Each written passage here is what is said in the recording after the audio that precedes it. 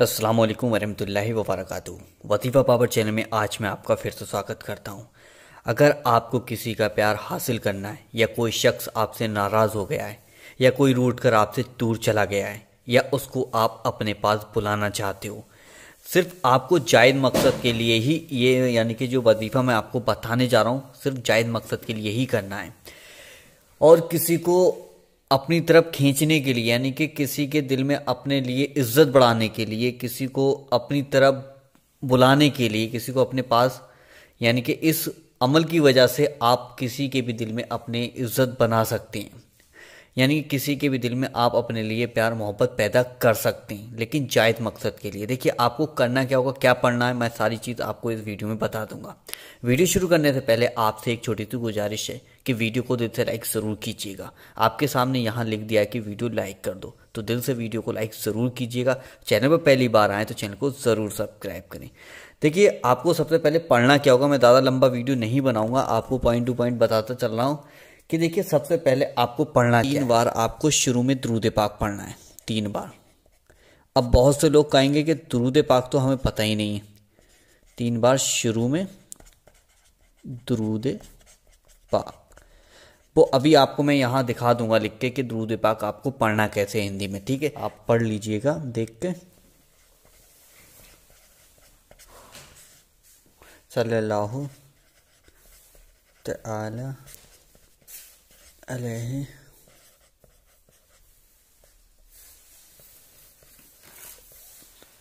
सल्लल्लाहु अलैहि वसल्लम। आप तीन बार शुरू में दरूद पाक पढ़ सकते हैं। या जल जलाली वलिक्राम आपको इस तरीके से पढ़ना होगा 101 बार। ठीक है? आप ये देख लीजिए स्क्रीन में हम लिखकर आपको दिखा रहे हैं, इस तरीके से आपको पढ़ना होगा 101 बार पढ़ना है। फिर उसके बाद, फिर उसके बाद आपको करना क्या है? सौ बार सूर्य फातिहा पढ़ना है। सौ बार, ध्यान रखना, सौ बार आपको सूर्य फातिहा पढ़ना है, वो मैं आपको स्क्रीन पर लगा दूँगा लास्ट में वीडियो के लास्ट में आप देख सकते हो कि हिंदी में आपको सूर्य फातिहा मिल जाएगी। अगर आप अरबी में जानते हो तो अच्छी बात है, और नहीं जानते तो मैं वीडियो के लास्ट में आपको बता दूँगा। अब आपको ये वजीफा जो है ना, सोते टाइम पर करना है। जब आप सोने के लिए अपने बिस्तर पर जाएँ, तभी आपको ये वजीफा करना है। जब आप ये वजीफ़ा करें, जिस शख्स के लिए आप ये वजीफ़ा कर रहे हैं, जिसके दिल में आप अपने लिए प्यार और मोहब्बत पैदा करना चाहते हैं, उसके लिए, यानी कि उसका आपको तस्वर अपने मन में करना है और उसके दिल में इज़्ज़त और प्यार और मोहब्बत पैदा करना है, नाराज़गी ख़त्म करना है, गुस्सा ख़त्म करना है, उसको अपने पास बुलाना है तो आपको ये वजीफ़ा सोते टाइम पर करना होगा।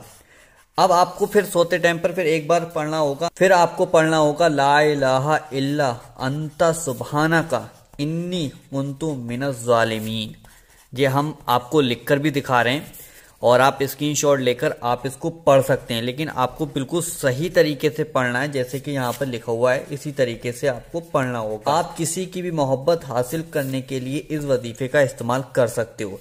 ये वजीफा जो है, आपको इकतालीस दिन तक करना होगा।